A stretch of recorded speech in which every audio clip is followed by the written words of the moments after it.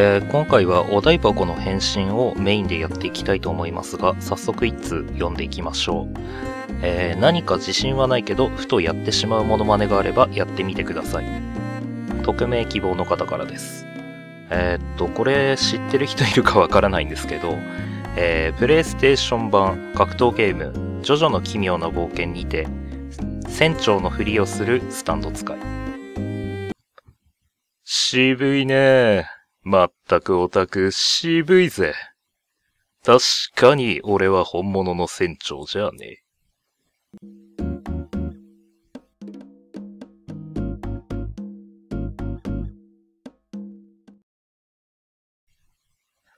第19回トワイスの妄想ラジオとはしゃべり。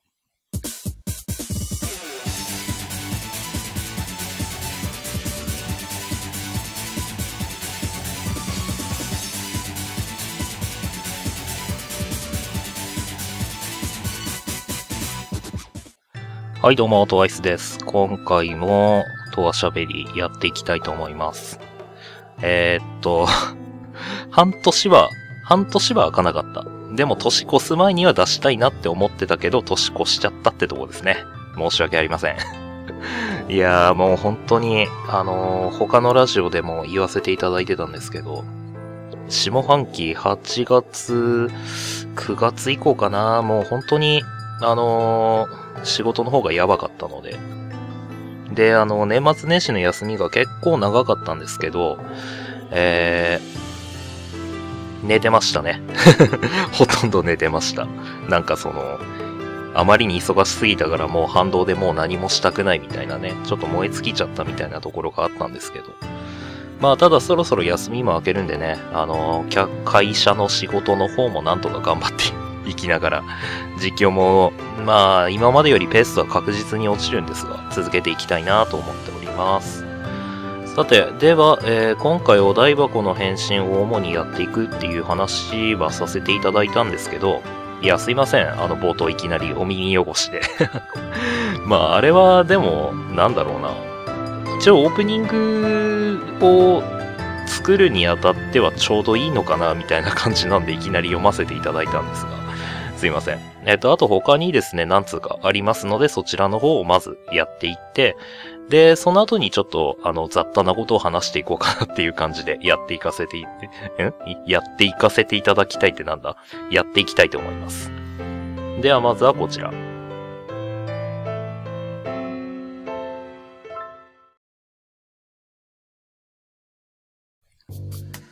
では、読んでいきたいと思います。えー、ゲーム実況しゃべりがなかなか楽しみなのですが、今後の予定などはあるのですか？これが気になりすぎて、夜も8時間くらいしか眠れません。匿名希望の方。ありがとうございます。夜も8時間くらいしか寝れない。うーん、あれかな？あの、いわゆるロングスリーパーな方なのかな？多分10時間ぐらい寝ないと、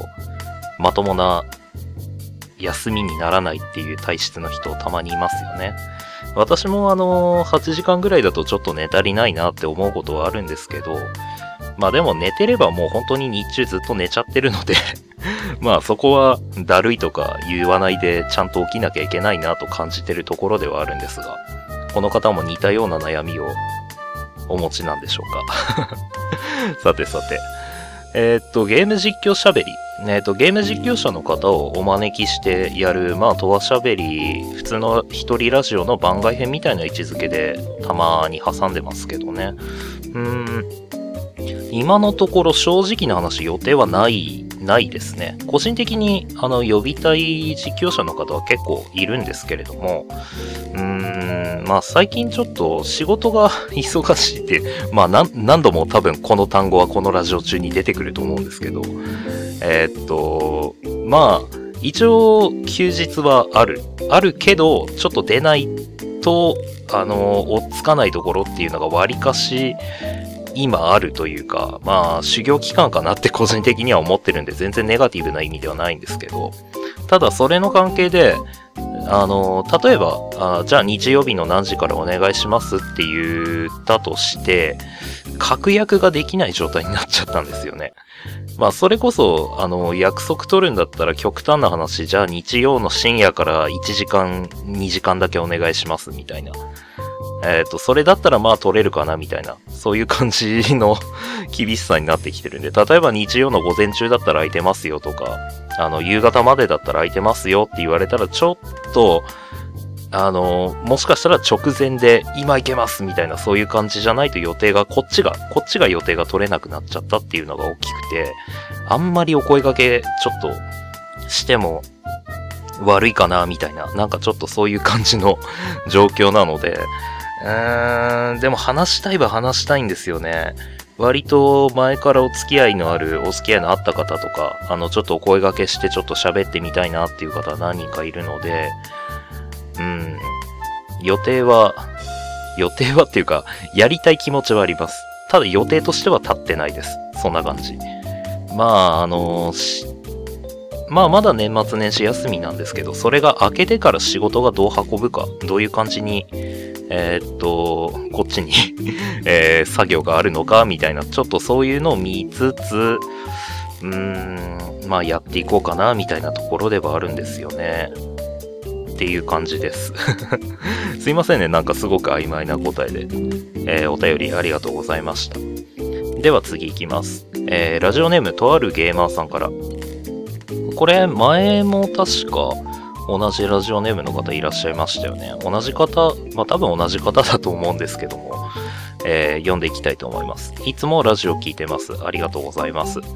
えー、先日久々に風邪をひいてしまったので栄養ドリンクを買おうと思ったのですが、コンビニですらとてつもない種類があってめっちゃ迷いました。トワイスさんはこれは弱った時に効くぞというおすすめ栄養ドリンクはありますか？また、風邪をひいたらいつも俺は〇〇している。例、ポカリを飲んで寝る。などといったことはありますか？ということですね。ありがとうございます。えー、っとですね、これ、お台箱で日付確認したら9月なんですよね、送ってくれてるのが。さすがに、さすがに1月まで長引いてる風っていうのはないと思うんで、ほんと申し訳ないことをしたなって思ったんですけど。えー、っと、風邪ですね。ちょっとあのー、なんでしょうね。これ、あの なんだろう。あんまりいい例えじゃないかもしれないですけど、バカは風邪をひかないってあるじゃないですか。あの、僕正直仕事が忙しすぎて風邪をひいてるのかひいてないのか自分でもよく判断できないっていう感じだったんですよね。まあたまたまマスクとかそういうのつけてないですし、鼻詰まりとかってわりかし年中そんな感じなので、あのー、もしかしたら弾いてないかもしれないけど、気づかず弾いてたかもしれないみたいなね。まあ、ちょっとそういうブラックなジョークも挟みつつ、ジョークじゃないけどね。まあ、幸いここ1年ちょっとぐらいは風邪はひいてないっていう感じなんですけれども、あ、引いたか。ちょうど1年前だ。えっと、確か元旦に僕インフルになったなで、ああインフルじゃないか。インフルじゃないけど、元旦に風邪をひいて、元旦に病院に行って、で、そっから3日4日ずっと寝てたって、結局去年もね、正月だったんじゃねえかみたいなね、そんな感じになってますね。えー、笑い事じゃないんだけどな。まあまあまあ。その後ちょっと、えー、っと、引っ越しがあって、で、そっから去年は本当に忙しかったので、まあね、そっから体調は幸い崩してないですね、僕は。まあ、ただ、えっと、もともと僕病弱で、あの、幼稚園から中学卒業まではほんとよく体調崩してたし、あの、それが原因でじゃあ授業午前だけ出るとか、えー、っと、まあ、あの、午後になって急に嘔吐して、そのまんま入院して遠足行けなくなるみたいな、なんか、なんかそういうことがあったりしたんですよね。まあ、あとあれ、えっ、ー、と、未だに驚かれるんですけど、あの、1ヶ月間、あ、すいません、あの、汚い話なんで、えっ、ー、と、あれ、ご飯食べてる人は、こっから数十秒ぐらい、あの、あの、飛ばしていただきたいんですけども、え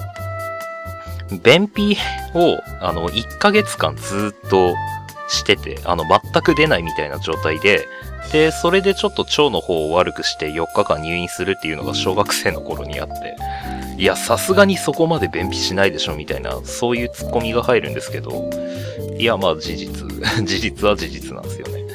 あの、あれ、恥ずかしい話、あの、座薬とか、あの、肝腸液とかあるじゃないですか。あれとか、あの、入れてもちょっと、あの、腹は痛いもんだから我慢ができなくて、あの、出すけど、効力が効く前に出すから、その、座薬とか肝腸液だけ出てきて肝心のものが出てこないみたいなね、ちょっとそういう苦しい時期があったんです。まあ今は幸い、あの、改便です。はい、おかげさまで まあ、あの、食生活は今の方が確実に悪いんですけどね。ただ、昔は、そう、あの、なんか、出なかった。そう、そういう時期は僕にもありました。何の話だっけ？えっ、ー、と、風邪の話ですよね。で、まあ、風邪はよくひいてたんですけど、あの、専門学校から前の職場を辞める時までは結構風邪はひいた覚えがあって、まあ、つっても8年半ですからね、だいぶその期間に風邪ひかないってことはさすがになかったんですけど、まあ仕事を風邪ぐらいで休めるっていう感じの 状況でもなかったので、まあ出るしかないんですが、まあ例えば1日休みがありましたらラッキーと思って、じゃあ次の日は、次の日っていうかこの日はもったいないけど1日中寝てようと、風、風邪治すためにって。まあなんで僕は風邪ひいちゃった時は、あのー、まあ、早めに寝る。これはそうですね。で、ただ風呂には入ります、僕は。風呂に入るのがいいことか悪いことかわかんないんですけど。僕はあの、ユニットバスとか、あの、アパートなんで、あの、そういう状態だったんですけど、今なんか汚い音入っちゃったから えっと、ユニットバスなんですけど、ちゃんと浸かるタイプだったんです。あの、シャワーとかで済ませない。今はシャワーだけで済ませちゃうことありますけど、風呂入るのめんどくさくて。まあ、なん、ただ、あの、アパートで住んでた時と、あと、専門学校寮に住んでた大浴場だったんですけど、その時は、あの、ちゃんと浸かるタイプだったんですよ。まあ、なんでちゃんと使って、で、まあ、あの、普段は下着だけで寝るけど、ちゃんとジャージかなんか着て寝る。で、あの、薬はちゃんと買って飲む。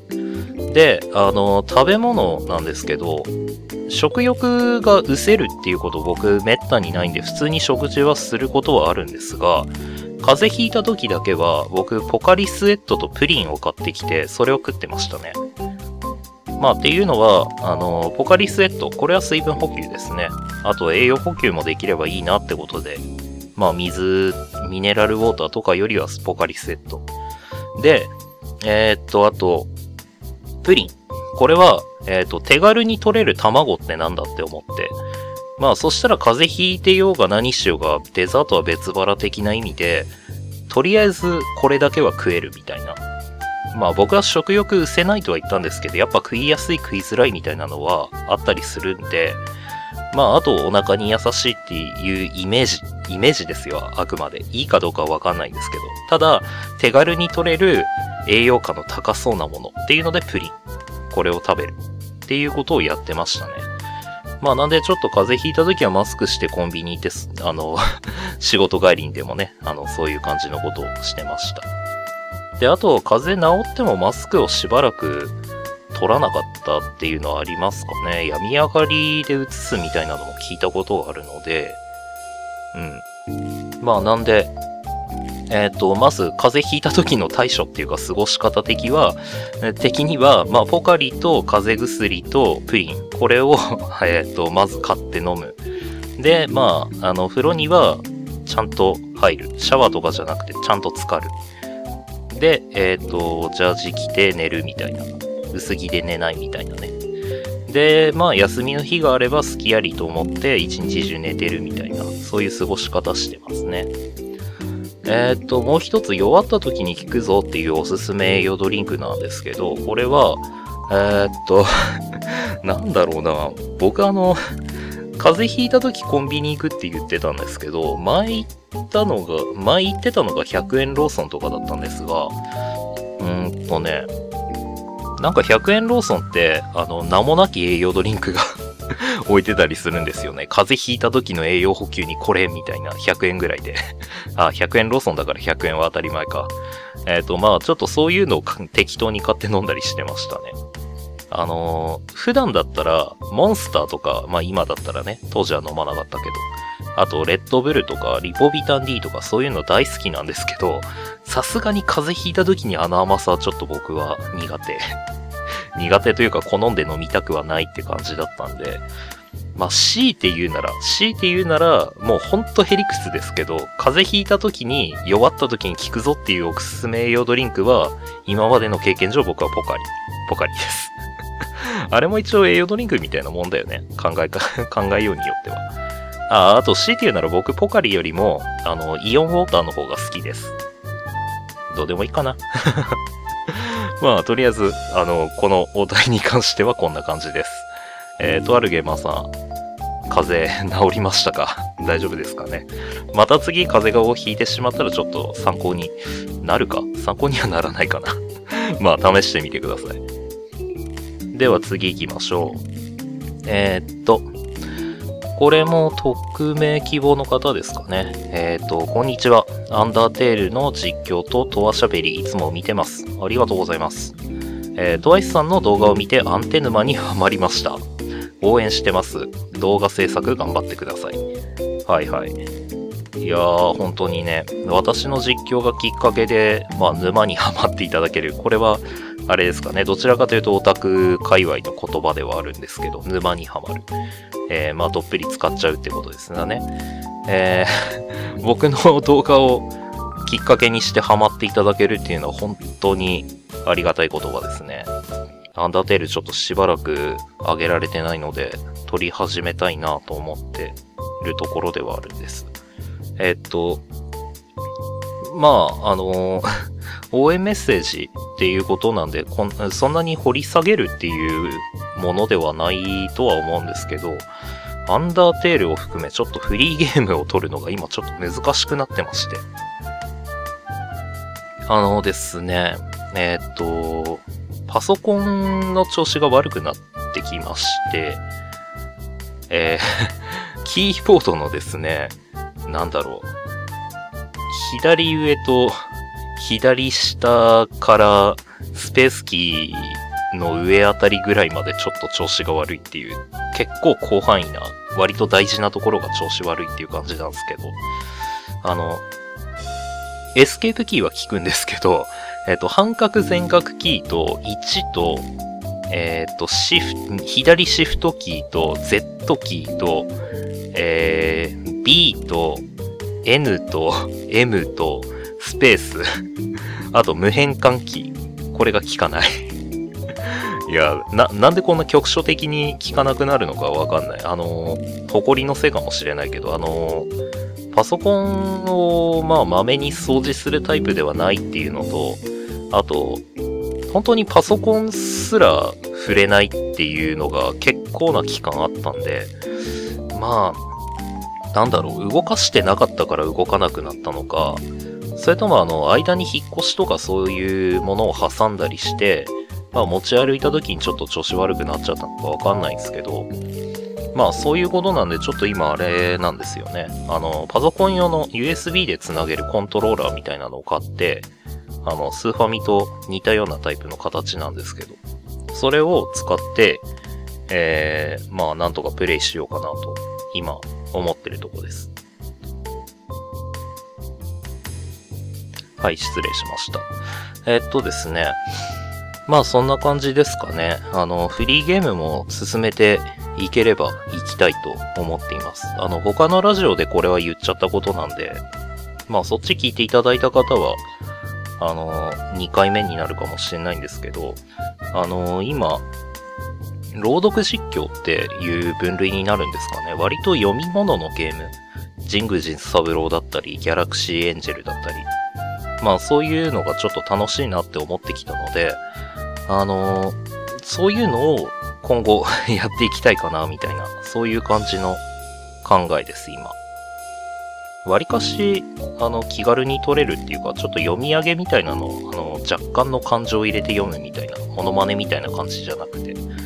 まあちょっとそういうのが楽しくなってきたんで、そういうの撮りたいなと思ってるところでもあります。はい。えー、来たお題に対して告知でお返しするという いやね、あの、応援ありがとうございます。これからもよろしくお願いしますということで。えー、っと、お台箱に関しては、えー、以上、えー、オープニングも含めると1、2、3、4通ですかね、いただいてました。皆さん本当にありがとうございます。えー、まあまだ早いだ、早いというか、まだラジオは続くんですけど、とりあえず、次のラジオまでに、あの、もう一回、えー、お題が溜まれば、そっちの方も読んでいきたいと思いますので、よろしくお願いします。お題箱の URL、概要欄の方に貼っておりますので、よろしくお願いします。では次の話題行きましょう。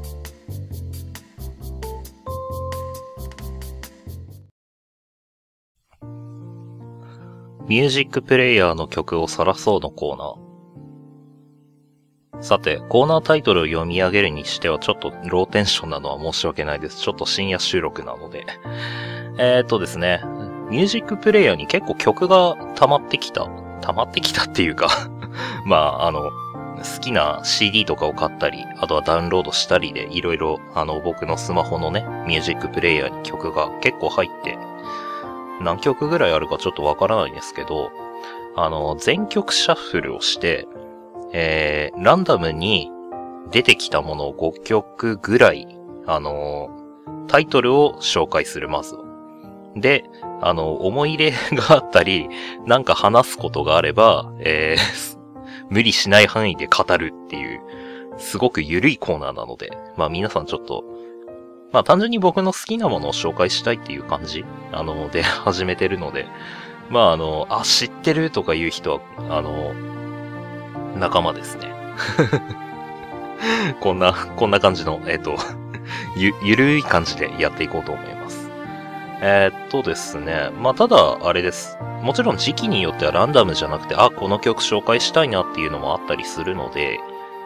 まあそういうのはまず優先的に紹介していこうかなと思います。えー、っと、では1曲目。こちら、ウィンターベリー、えー、ユニ。えー、こちらの曲なんですけれども、えー、ほんと最近ですね。あの、去年の12月とかに、えー、発表されたばっかりの新曲ではあるんですけど、えー、僕が最近ハマっているバーチャルシンガーのユニさんっていう方、えー、のオリジナル楽曲です。とにかく可愛い。見てください。あの もし、あまあ、本人と連絡を取るなんてことはもちろんないんですけど、もし、あの、世間的に許されるのであれば、概要欄に勝手に URL を貼り付けたいぐらい、可愛い、おすすめの、えー、PV が YouTube で見ることができます。えー、バーチャルシンガーユニさんといえば、まあ、その、見た目、見た目というか、あの、その前にバーチャル YouTuber の紹介をした方がいいのか。いや、考えるな、感じろ。というわけで視聴者に丸投げするスタイルでいきたいと思います。えっ、ー、と、バーチャルシンガーのユニさんといえばですね、先日1月の2日かな？ぐらいに、えっ、ー、と、NHK でやってたバーチャルのど島。まさか NHK がバーチャル YouTuber でノード自慢をやるとは思わなかったんですけど、えっ、ー、と、私見まして、見ましてというか、その時あれだったんですよ。あの、わけあって、わけあってでもないけど、普通に友達ん家に遊びに行ってたんですけど、あの、ちょっとわがまま言わせてくれと。あの、夜の11時半から12時半にかけて、えー、テレビ、見たいテレビがあるからそれを見せてくれと友達に頼み込んで、で、そこで見てたんですけれども、いや、本当に感動しましたね。あの、キズナ愛親分を含め、あの、名だたる YouTuber たちが、自慢の曲を披露していく。すごかった。すごかったですね。まあ、あのあんまり良くはない方法なんでしょうけど、一応、あれですね、Twitter とか YouTube とかでも話題になって、ちらほら動画を見かけることがあったので、まあそちらで見てみてもいいのかなっていう感じなんですけれども。えっ、ー、と、それにユニさんも出てましてですね。いや、ほんと聞き惚れましたね。ね。ねって見た人しか伝わらないと思うんですけどね。あと、まあちょっと貴重だなって思ったのは、その時、あの、司会の小田切千アナウンサーと、ちょっとしたトークみたいなのがあるんですけど、まあ、のど自慢知ってる方はいつもの光景だと思うんですが、あの、ユニさん、普段の声がむちゃくちゃふにふにしてて可愛かった。いや、本当にね、あんな あの、ともすればかっこいい曲も歌うし、可愛い曲も歌う、すごくなんか、あの、いい声だなって思ってたけど、普段の喋りがほんとほわーっとしててね。いやー、あれはほんと癒しでしたね。お宝映像です。あの、録画が機能を全く持っていないのが残念でしょうがない。もう次テレビ買い替えるとしたら、ある程度、あの、なんだろう、過去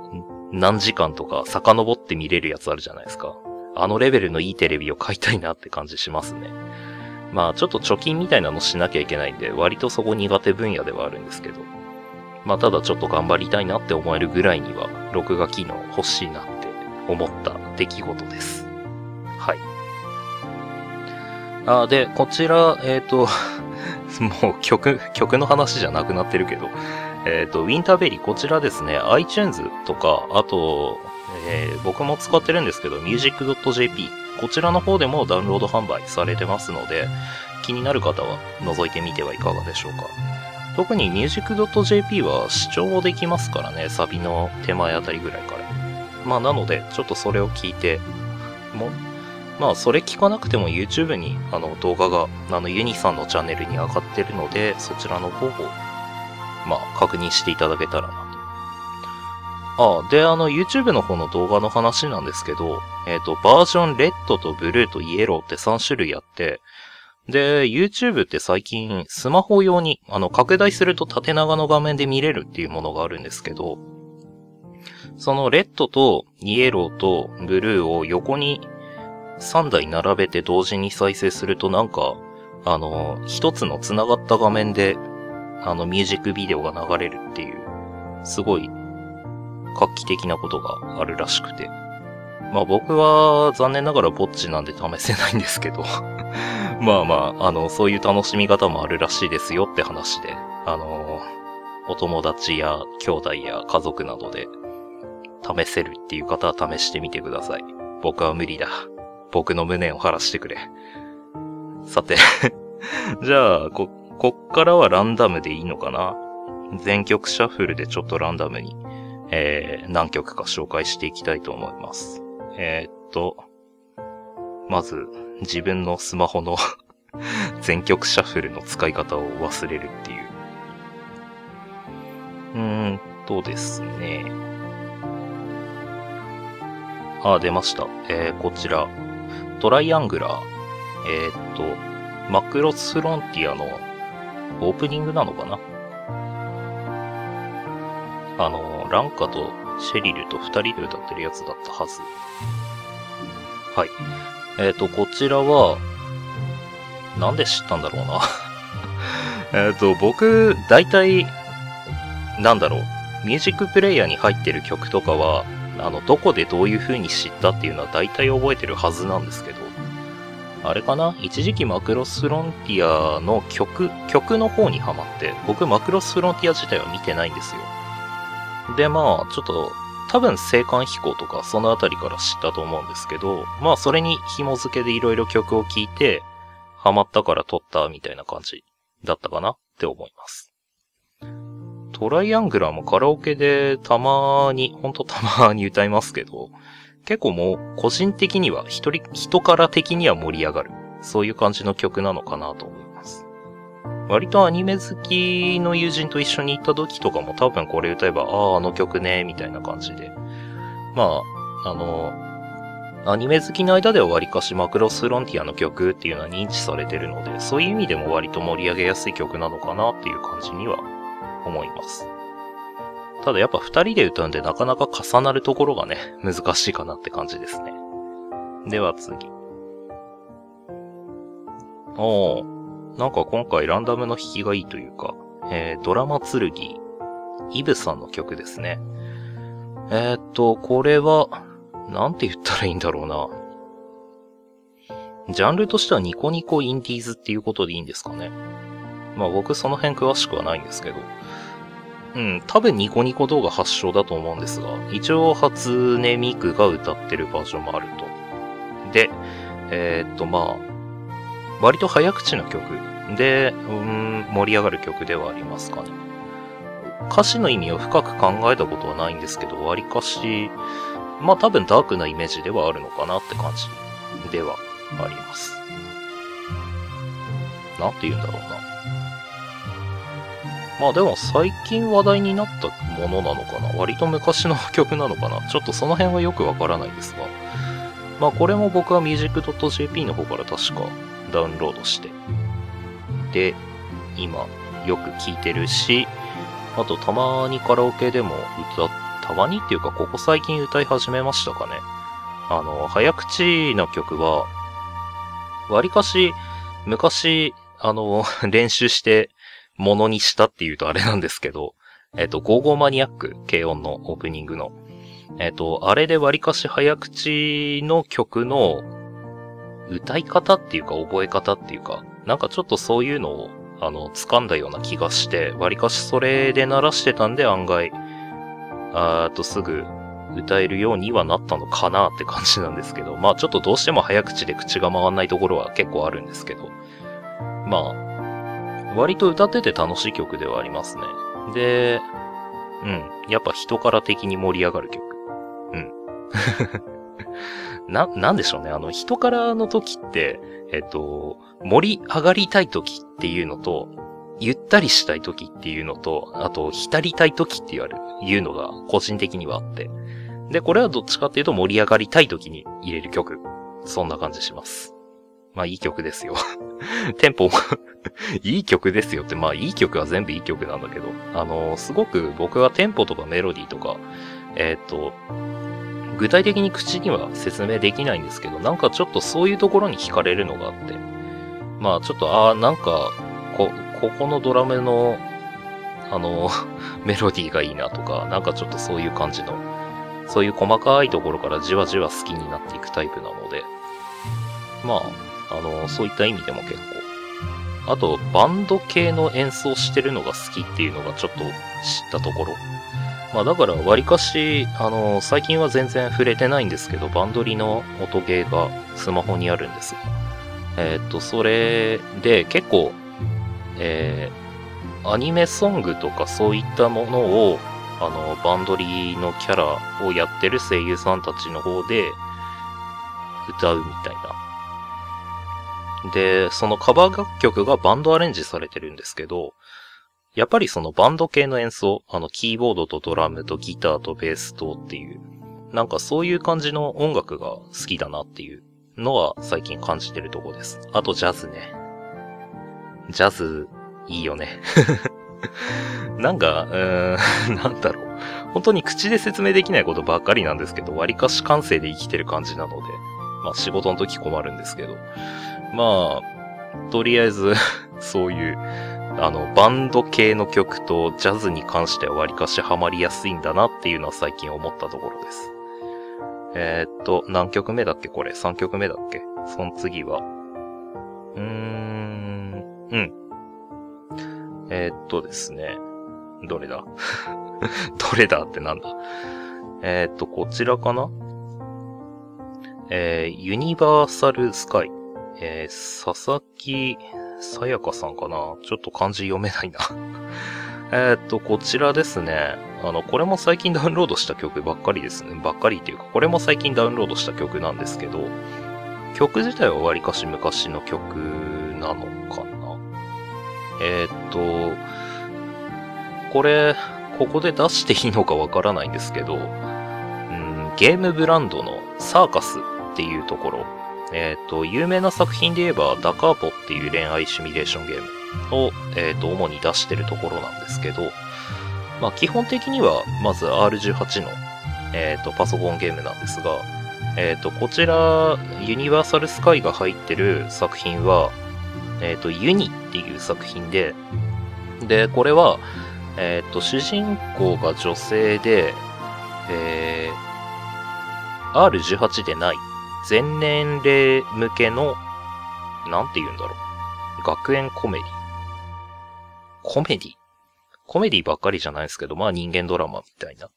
なんかそういう作品らしいらしいっていうのは僕が 全然、あの、興味は持ってるけど、プレイはしてないっていう。で、あの、興味は持ってるけど、プレイしてる暇がないなっていう時に僕が取る行動って、大体その曲のオープニング、エンディング挿入歌、これをまずダウンロードして聴くっていうことなんですけど。まあ、これがまた盛り上がる曲です。これはね、ほんとね 例えば喋りながら今 BGM で流せたらいいんですけど、何かに引っかかるとちょっとめんどくさいので、そういうことはしないんですが、うーん、なんて言うんだろう、勢いがある曲ですね。疾走感がある曲。そうですね。そうとしか言いようがない。ちょっと申し訳ないんですけど、これに関しては、興味を持ったら 聞いてください。これも music.jp に落ちて、落ちてたっていう言い方変だけど、えっ、ー、と、music.jp の方で購入ができたはずなので、興味のある方は調べてみてください。えっ、ー、と、次で最後ですかね。あー、出た出た。えっ、ー、と、こちら、えー、Baby Maybe 恋のボタン、えー、Muse ラブライブの曲ですね。えっ、と、これは Muse のベストアルバムを私は持ってます。1も2。で、それの1のディスク1の方に入ってたやつがこれですね。うーん。僕、ミューズの曲を初めて知ったっていうか、ミューズの存在自体を初めて知ったのが、えー、っと、ラブライブスクールアイドルフェスティバル。まあ、いわゆるスクフェス、スマホのリズムゲームなんですけど、えー、そちらをダウンロードして、そこからちょっとずつラブライブってこういうもんなんだっていうのを知っていって、で、まあどっぷりハマって、今はちょっと、いろいろ他に興味が出てきたんで、下火になっちゃったっていうか、なかなかアニメもリアルタイムで見れなかったですし、うん。まあ、あの、落ち着いたって感じですかね。なんですけど、まあ、その中でも、あのー一応スクフェス、今はもう最初から、あの、ババッといろいろ遊べる曲がたくさんあるんですけど、やっぱりクリアして次々新しい曲を出していくってスタイルなので、それの2曲目だか3曲目ぐらいに出てきた曲じゃなかったかな、ベイビーメイビー恋のボタンは。割かし落ち着いた雰囲気の、まあ、なんて言うんだろう。本当に恋する少女の、が主人公でその目線での歌詞みたいな、そういう感じで、結構こう、王道行く、そんな感じの、ね、あの、まあ、ちょっとしっとりめな、でもポップな曲、みたいなそんな感じですかね。えっ、と、一応これもカラオケで歌、歌える、歌えますね。ただあんまり、あのー、最近昔、昔っていうほど昔じゃないけど、前の職場にいた頃の1ヶ月に一度フリータイムで6時間ぐらい入るみたいな、そういうことを最近しなくなっちゃったので、そういう時になれば、なんだろう。割と困った時には、ああ、これ歌おうかっていう風に出てくるような曲ではあるかなと。うん。まあそんな感じですね。えー、っと いや、これぐらいの緩さでこれから続けていこうかなって思います、このコーナーは。うーん、まあもしくは、あれですかね。まあこれもまあちょっとあざといかもしれないんですけど、お台箱の方にですね、あの、この曲知ってますかとか、この曲おすすめですよ、みたいな、そういうのがあれば送っていただけるとありがた、ありがたく思います。というわけで次のこと行きましょう。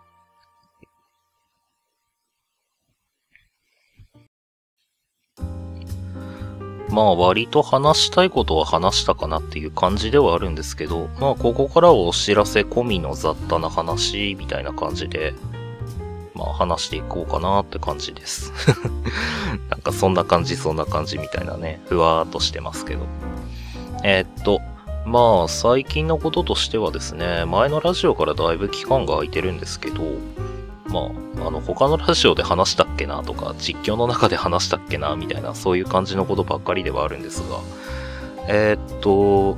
11月ぐらい、えー、に入ってからですね、初めてバーに行きました。その時は先輩と2人、えー、先輩と2人じゃないか、先輩と3人で、えっと、ちょっとおしゃれなところに行ったんですけど、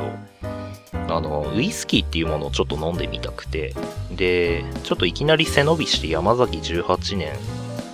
違うか。山崎12年、12年を、えー、っと、頼んで、ちょっとそれを飲んでみたんですけど、なんかその、なんでしょう。ウイスキーの、えっ、と、ネットの記事とか、あの、味のレビューみたいな。なんかちょっとそういうのを見てると、なんか小難しい表現がいろいろ出てくるんですよ。あの、なんか、泥？あの、腐葉土の味がするとか、あの、なんか、なんて言うんだろう。チョコレートのような、芳醇な感じとか、あと、なんか果実のような、あの、柑橘系の甘さを感じるとか、なんかそういう小難しいことが書いてあって、ウイスキーってだいぶ舌が超えた人じゃないと美味しいって感じないんじゃないかなっていう、ちょっとそういう先入観があったんですけど、あのー、飲んでみたら、なんか、なんかよくわからないけど美味しいって思ったんですよ。で、あの、それから自分一人でも、あの、先輩といったところとは別ですけど、バーに行ったりとか、あとは、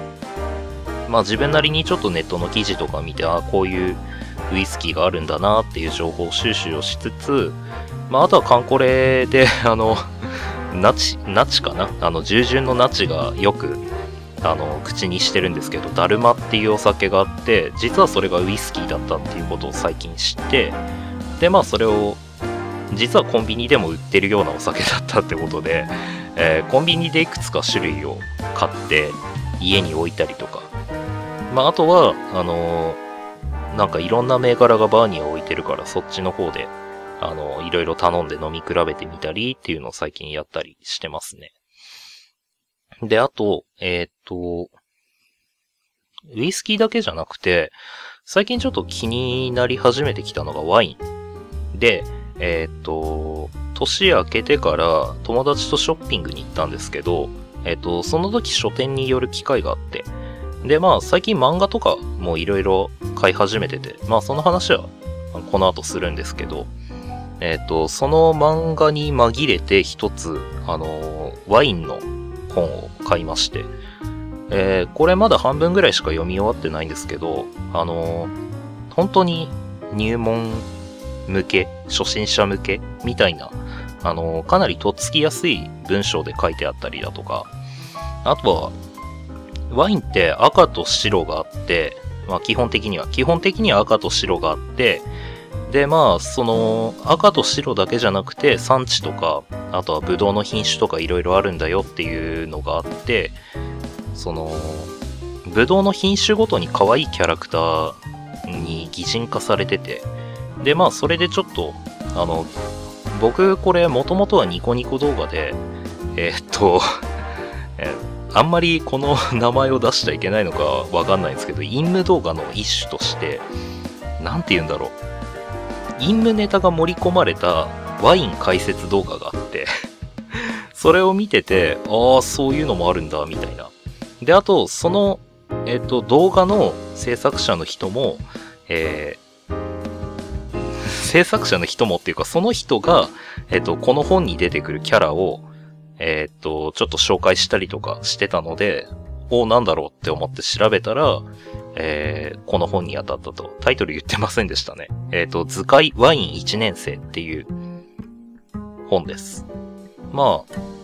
あ、あの、数ページの漫画とか、そういうのを挟みつつの、まあ、かなり本当に砕けた表現とかを多く使ってて、すごく読みやすい本ではあります。割とライトノベルとかしか普段読まないかな、みたいな。むしろ本読まないな、みたいな。なんかそういう人向けかな、みたいな。そういった意味でも入門、入門用、みたいな。かなり、あの、読みやすい文章で、で、わかりやすい感じに書いていただいてるので、あの、ささっと読めちゃうというか。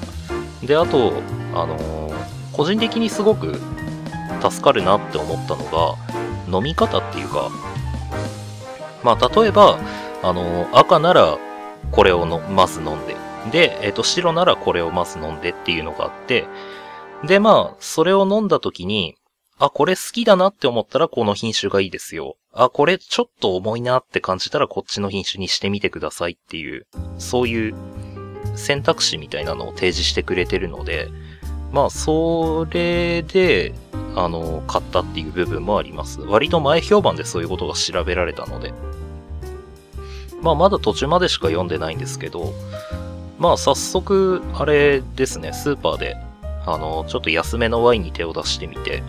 あ、そういえばこの品種飲んでみてって言ってたなって。で、まあ、飲んでみたら割かし、あの、なんて言うんだろう。当たってたっていうか、うわ、まず、みたいな こりゃ合わねえな、みたいな、そういう感じではなかったので、まあ、こっからちょっと本を読み進めてって、じゃあ、あの、どういう感じに味わえばいいのかとか。あとは、えっ、ー、と、同じ品種で別のものをちょっと試してみるのか、えっと、割かし好きな感じだったから、じゃあ、似たような他のワイン、品種のものを試してみるのか、みたいな。ちょっとそういうところも、勉強ってほどじゃないですけど、せっかくお酒がある程度飲めるっていうのが判明したので、あの、割かし 飲めない方だと思ってたんで、割と度数が強い酒とか、いけるっていう風なことが分かったんで、まあ、ウイスキーなり、ワインなり、ちょっとそういうのをこれから覚えていこうかなって思ってるところです。はい。で、あとさっきちょっと言ったんですけど、本、あの、漫画、あの、しばらく全然読まなかった。全然読まなかったんですけど、うーん、話したっけかな？これどこまで話したかわからないで、もうつらつらと言っていきも、いきたいと思うんですけど、まあ最近買ってる漫画と、えー、っと、ずっと気になってる漫画がある。あと、昔から 気になってて、えー、続きを読みたい漫画とかあるんですけど、えー、っと、昔から気になってる漫画で、まだ途中までしか読んでないのが、えー、ソウルイーター。ガンガンの月刊少年ガンガンかな。えっと、それの漫画、えー、ソウルイーターですね。アニメ化とかゲーム化されてるんで知ってる方もいるとは思うんですけど。割とああいう世界観が好きで。で、まあ、キャラとかも結構、もう本当に、あの、癖のあるキャラばっかりっていうとあれなんですけど、個性的なキャラばっかりだけど、あの、もう本当勢いでバーッと読み進めちゃうような、そういう不思議な世界観に引き込まれる感じありますね。で、えー、っと、あと、今買ってる漫画が、えー、若子酒と、ドリフターズ。うん。まあ、ドリフターズは、これもアニメ化された ?OVA だっけ？まあ忘れましたけど。まあとりあえず映像作品にはなってるので知ってる方もいるかと思いますが。あとツイッターとかやってる方は割かしネタとして、あの、見かけたりするのかな。あの、あれ、妖怪首置いてけ。まあこれで通じる方もいるかもしれないですけど、僕もそこから知ってこれ元ネタなんだって思ったら、ああ、こういう漫画ね、と。で、買ってみたらハマったと。そういう感じですね。割とあの、僕これドリフターズ買い始めてから気づいたんですけど、あの、ヘルシングっていう漫画の作者と同じ人が書いてて、なんかセリフ回しが面白いっていうことはありますね。まあ、あと、キャラごとの独自の、なんていう、えー、理論みたいな、あの、芯みたいなのがちゃんと通ってるっていうのがあって、そういう、なんか、まあ、現実で聞いたらすっげえ無茶なこと言ってんなこいつっていうのはあるんだけど、漫画ならではっていうか、あの、ああ、このキャラはこの信念のもとにこういう戦い方をしてるんだな、みたいな、ちょっとそういうのが見えたり、みたいな。なんかそういう表現が面白いなっていうので、ドリフターズは読んでますね。あと、若子酒は、まあこれは、あの、会社勤めの OL が主人公で、まあその会社帰りの夕飯で、なんかつまみながら飲むみたいな。そういう話、1話完結基本的には、の話なんですけど、まあこれがね、あのいろんなつまみがあって、まあ飯テロですよね。あのグルメ漫画的な、なんかちょっとそういうのが、最近多いですけど、若子酒は、まあその中でも、あの、ちょっとほっこりしてる感じ。で、まあちょっと会社員ならではみたいな、ちょっとむしゃくしゃしたから、がっつり行こうみたいな。なんかそういうのも見え隠れして結構面白いと思います。まだドラマ版を見たことがないんですよね。ドラマ化してるんですけど。ちょっとそっちも気になってるとこであります。あとは、うーん、まあ、ある意味これが本題、本題？本題になるのかな？まあ、あのー実況のこれからの予定の話ではあるんですけど、まあ、先ほどお便りの時も言わせていただきましたけど、割と読み物系、朗読実況系みたいなものはやっていきたいなって思ったんですが、あの久しぶりにフリーのホラーゲームやりたいなっていうのが一つ。あと、ホラーゲーって言ってもホラーノベルみたいなのを朗読したいなっていうのはありますね。僕が読み上げることによって怖さが半減するのか、倍増するのか、自分自身がビビっちゃうのかわからないんですけど。まあでもちょっとそういうホラーのノベルゲームみたいなのもやっていきたいなっていう気持ちあります。あとは、これはラジオの公開が先か、この動画の公開が先かわからないんですけど、ちょっと編集中におふざけはしたんですが、まあ個人的に楽しみたいゲームとして、えっ、と、先日、プレイステーション3の初音ミクプロジェクト D バ F の方を買いまして、今絶賛プレイ中です。僕はあの PSP の初代のプロジェクト D バだけやったことあって、あの、それからしばらくしての作品なんで、やることが多くて、嬉しい反面、世話しないというか、僕あのハードとかクリアできる気がしない。多分イージーとノーマルで曲だけ楽しむみたいな、PV だけ楽しむみたいな感じになるとは思うんですけど。まああとね、あの、リズムゲームとしてプロジェクト D バ F 一つ、あの、個人的に思うところがあって、あの、目が疲れる。あの、がっつり PV が後ろで流れてて、その手前に表示されるボタンで、そのボタンも、あの、どこに出るかわからないし、それに向かって流れてくるから、あの、タイミングはわかるけど、本当目が疲れる。まあ、クリアしちゃって PV を見るっていう、好きな衣装を着せて PV 見るみたいな、そういうのはすごく楽しいんだけど、ちょっとそれだけ難点かなってとこですね。で、あと、まあ一応あのノ、ノートえっ、と、ボタン、その1曲あたりのボタンの数、あのー的にはやっぱりノーマルぐらいがちょうどいいので、個人的には。まあそれぐらいが乗りながらできるみたいな。もう本当に集中しちゃってそれどこじゃねえよみたいな、そういう感じでリズムゲームをやりたくはないというか。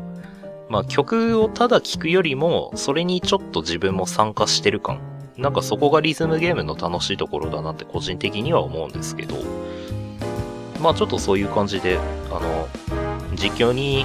しないというか、しようがないというか、まあ、個人的にそこは楽しんでいきたいかなって思ってるのと、あと、えっ、と、これは、まあラジオ聞かない人もいるからあれなんでしょうけど、一応これからの実況として一つ考えてるのが、FPS のキャンペーンモードやりたいって思ってて、で、まあ、弟が一応そういうのを何本か持ってるんで、実家帰った時にそういうの借りようかなって思ってたんですが、一つ自分で、えっ、と、弟が多分持ってないからこれは買わなきゃって思ってたのを買ったんですけど、先日。えーそれがバトルフィールドハードライン。これの、えーキャンペーンモード。これはやります。イージーかノーマルかちょっと考えてますけど。まあ、ノーマルかなちょっと背伸びして。まあ、ちょっとそれでね、あの、やっていこうかなと。バトルフィールドハードラインは、一方が警察、一方がテロリストみたいな、なんかちょっとそういう感じの勢力の分かれ方なんで、あの、軍隊同士がぶつかるみたいな、うん、傭兵同士がぶつかるみたいな、ちょっとそういう感じの世界観ではないんですけど、またそこがちょっと、なんだろう、キャンペーンとして面白いところなのかなと思いまして。で、あと、えっ、と、個人的にコールオブデューティも、バトルフィールドもキャンペーンの面白さっていうのはあると思う。あの、本当皆さん、皆さんって言うとあれなんだけど、実況をしてる人って FPS の、あの、大体オンライン対戦の動画を流してるイメージがあって、あんまりストーリーの方を、あの、楽しめないって言うとあれなんですけど、まあ僕はどっちかっていうと、あの、一人で黙々とやりたいタイプで、で、まあ勝負でちょっと一喜一憂するのもちょっとなって思ってるので、まあキャンペーン、ゆるく、ストーリーを楽しむためにキャンペーンをやりたい。そのためだけに買いました。まあ、まだオンライン残ってるかわかんないですけどね。まあちょっとそんな感じで、あのそれは実況シリーズとして今年中にはやりたい。完結まで行きたい。と思ってるとこです。あと、新しい実況に関しては、えー、っと、去年、2018年の1月とかに、僕あの、引っ越しを2月ぐらいにしたんですが、その引っ越し直前にあろうことかブックオフに何を売るでもなく行っちゃって、で、そこで、あ、これ実況したいって思うやつを何本か買ったんですけど、いや、実況しないやつも買ったんですけど、えー、っと、そのうちの1本、アンチャーテッド。砂漠に眠るアトランティスだったかな。まあ、とりあえず 3, 3作目のアンチャーテッド。これも今年中にやりたい。完結までいけるかどうかわかんないですけど。で、えっ、ー、と、あと新しい実況シリーズというよりは休止中の前のやつ。えっ、ー、と、スプラトゥーンはやめました。やめましたって、あの、あれ、あれはやります。あの、オクト、オクトの方はやります。あれはやるけど、あの、サーモンランと、えっ、ー、と、フェスとか、えー、縄張りバトルとかガチとか、えー、そっちの方はやりません。えー、っと、練習してる暇もない。うん、そもそもゲームを触ってないので。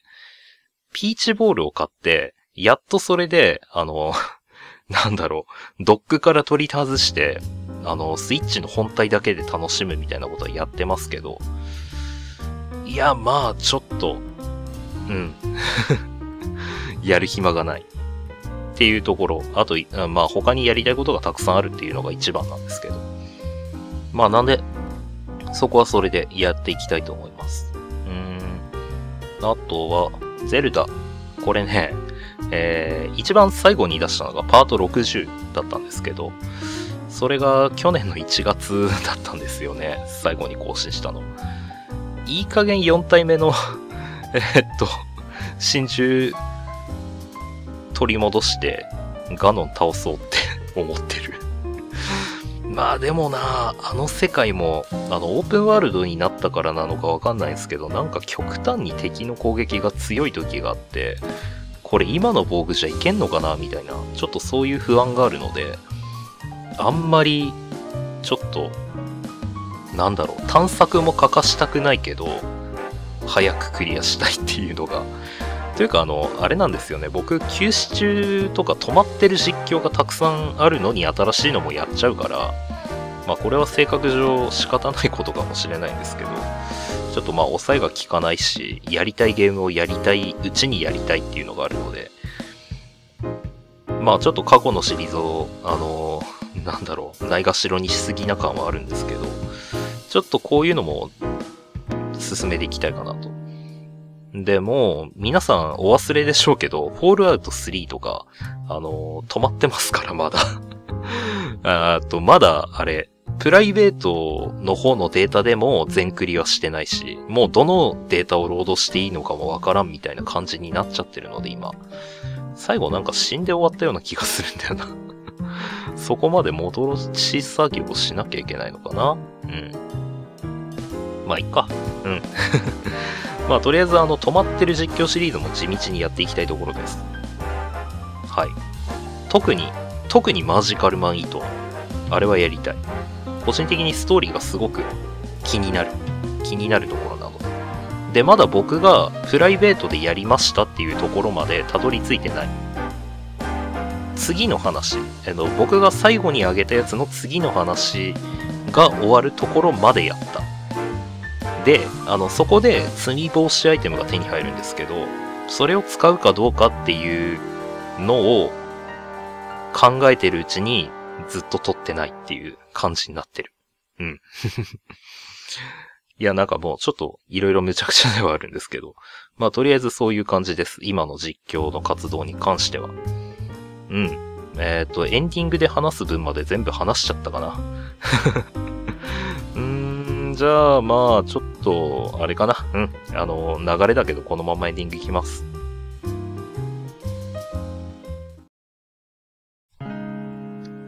エンディングです。えー、っと、ほんと今更で申し訳ないんですけど、実はお酒を飲んでました。ましたって、あの、撮り始める前に飲み終えたんですけど、まあそれがあれですね。さっき言ってた赤ワインです。まだ半分残ってます。なんか割と香りを楽しむためにワイングラスの30%ぐらいのところまでに、えー空気を含ませるみたいに、まあ極端じゃなくていいんですけど、なんか、あの、紅茶の入れ方みたいな、あの、上からちょぽちょぽって音がする感じで注ぐっていうのが、いいっていう風に書いてあったので、まあちょっとそれ真似してやってみたんですけど、なんかいい感じしました。うん。何が良かったのか、何が悪かったのかはよくわからないけど、まあこういう風にちょっと雰囲気に浸るみたいな、俺通だぜみたいな、ちょっとそういうテンションの上げ方みたいなのは、割と何に対しても重要なのかなって、そういう感じはしますね。はい。えーっと、まあ話したいことは、えー、エンディングに入る前にもうあらかた話しちゃったんで、まあ軽くいこうかなって感じなんですけど、うーん、まあ、あれかな？うん。えっと、まあ今回結局お台箱返信以外にもいろいろ話したんですけど、まあおおむね5通、6通ぐらい来てれば、多分それだけで、あの、20分ぐらいは喋れるっていうことが判明しましたので、まあ何か気になることがあれば気軽にあのお台箱の方に投げかけていただければなと思ってます。まあ、その、更新頻度をもうちょっと、ラジオの方の更新頻度も上げていきたいなと思っているので、思っていて実行できていないのがちょっと情けないところではあるんですけど。まあ、ご協力お願いします。えっと、あとは、とりあえずミュージックプレイヤーからランダムに5曲語るみたいなのは、えーこれからもちょっとずつやっていこうかなと。これはこれでやっぱり、あの、なんだかんだ10分程度は話せるなって思ったので。